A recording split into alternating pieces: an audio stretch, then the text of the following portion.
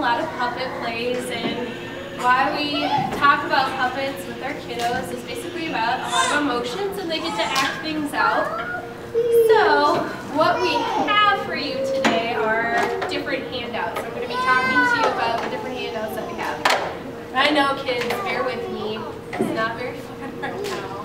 But for you parents, this handout is What Am I Feeling? And it's about emotional coaching and how to emotional coach with your kids. And basically it's not to have like this long counselor session. It's not to be like, oh, okay, let's sit down and talk for an hour about our feelings. It's more about those like small teachable moments that you can start training your kid now about what they feel, how they feeling, how we can process those feelings. Um, so this is the five steps to emotional coaching. It starts with emotional about is recognizing your own emotions.